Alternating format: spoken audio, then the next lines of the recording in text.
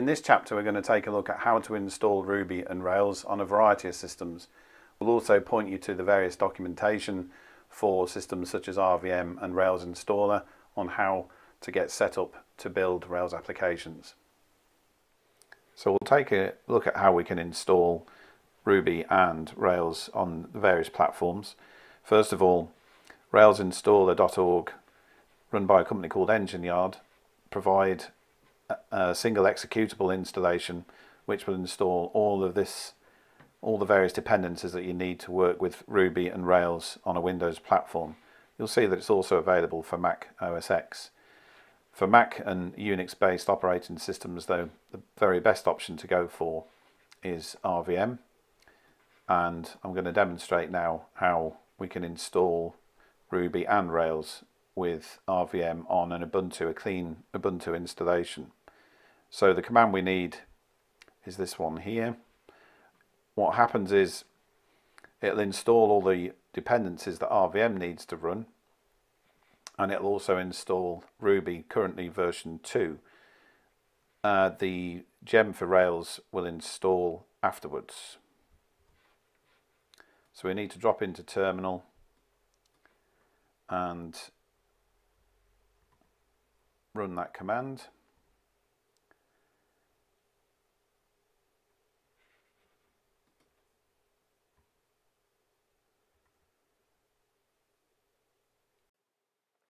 So when the process completes, you'll be prompted with this command to run here.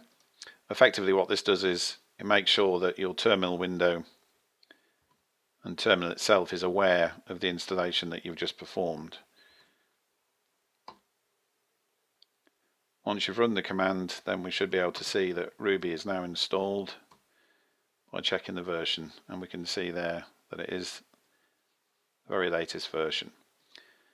To install Rails ordinarily you would just do gem install Rails. Notice that there's no need for sudo at that stage. You shouldn't need to install the gems for RVM as a super user.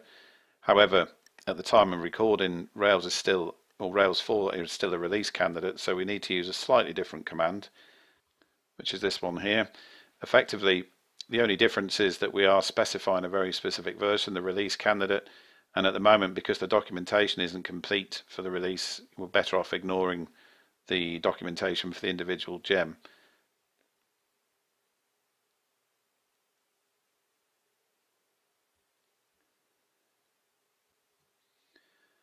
So once the process completes, you'll see that RVM has installed all of the necessary gems to make Rails work.